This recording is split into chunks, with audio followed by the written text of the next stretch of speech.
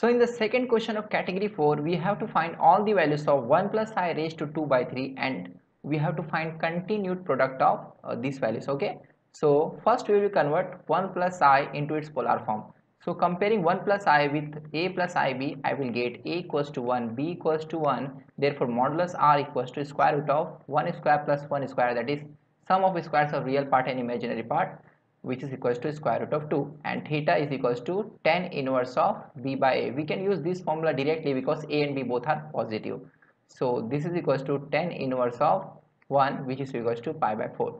So therefore 1 plus i can be written as root 2 into cos of pi by 4 plus i sine pi by 4. So this implies that 1 plus i raised to 2 by 3 equals to root 2 into cos of pi by 4 plus i sine pi by 4 raised to 2 by 3. So therefore 1 plus i raised to 2 by 3 can be rewritten as root 2 into cos of pi by 4 plus i sine pi by 4 raised to 2 raised to 1 by 3. अब यहाँ पे मैं पहले power 2 को evaluate करूँगा तो root 2 का square क्या होगा 2 ओके एंड देन ये टू डी मॉडल्स थेरम के अकॉर्डिंग पाई बाय फोर से मल्टीप्लाई हो जाएगा। सो so, मुझे मिलेगा cos of pi by two plus i times sine of pi by two okay and this is raise to one by three so therefore one plus i raise to two by three equals to two raise to one by three in two cos of pi by two plus i sine pi by two raise to one by three अब De Moivre's theorem का sorry अब इस particular polar form को मैं generalise करूंगा bye adding two pi k to angle pi by two so this can also be written as cos of pi by two plus two pi k plus i into sine of pi by two plus two pi k raise to one by three So 1 by 3 can be multiplied with pi by 2 plus 2 pi k using De Moivre's theorem. So therefore 1 plus i raised to 2 by 3 equals to 2 raised to 1 by 3 into cos of pi into 1 plus 4k divided by 2 into 3 that is 6 plus i into sine of pi into 1 plus 4k divided by 6 okay? So actually this is equals to 2 raised to 1 by 3 into e raised to pi into 1 plus 4k by 6 into i. So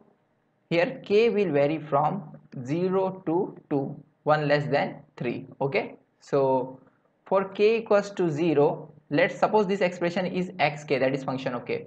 k no, x naught will be equals to 2 raised to 1 by 3 into e raised to pi by 6 into i okay? And then for k equals to 1 x1 equals to e raised to i into 4 plus 1 5 that is 5 pi by 6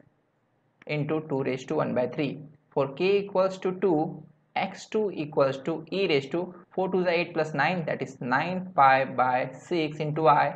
into 2 raised to 1 by 3 therefore continued product that is x naught x1 x2 will be equals to 2 raised to 1 by 3 into 2 raised to 1 by 3 into 2 raised to 1 by 3 that is 2 raised to 1 by 3 plus 1 by 3 plus 1 by 3 into e raised to, uh, now e raised to pi by 6 i into e raised to i pi by 5 pi by 6 into e raised to 9 pi by 6 i will give e raised to i pi inside the bracket 1 by 6 plus 5 by 6 plus 9 by 6 so this is equals to 2 because 1 by 3 1 by 3 plus 1 by 3 is 3 by 3 that is uh, 1 so answer of this expression should be 2 and into e raised to now 5 plus 1 is 6 6 plus 9 is 15 15 by 6 is 5 pi by 2 okay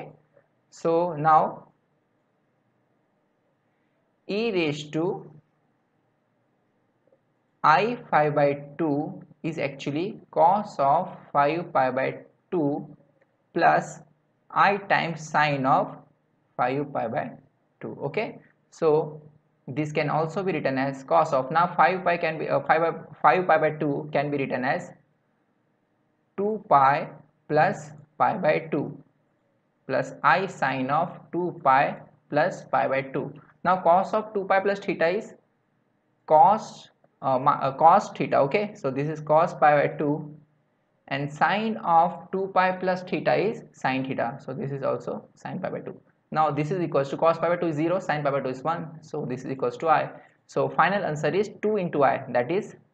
x naught x1 x2 equals to 2i this is answer for continued product. Okay? So let's see the question number three.